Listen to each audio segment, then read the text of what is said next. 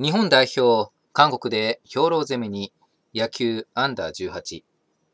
日韓現代などによりますと、現在韓国で開催されている野球のアンダー18ワールドカップに参加をした日本代表チームが兵糧攻めにあっていることが明らかになりました。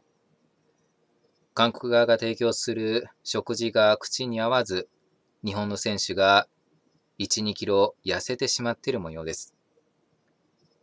日本代表チームのスタッフは、和食はなく洋食と韓国料理だけがある。選手団はピザ、じゃがいも、ベーコンなどを好んで食べる。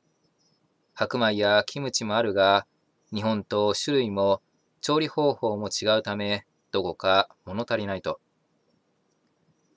選手たちはいずれも不満を言いながらも、胃腸に食べ物を詰め込んでいる。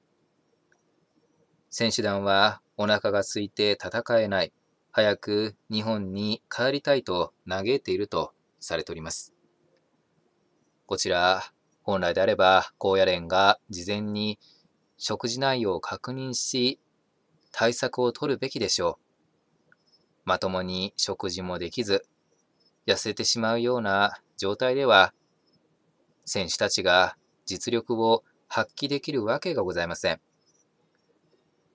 高野連には二度とこのような問題が起きないように対策を取っていただくようお願いいたします。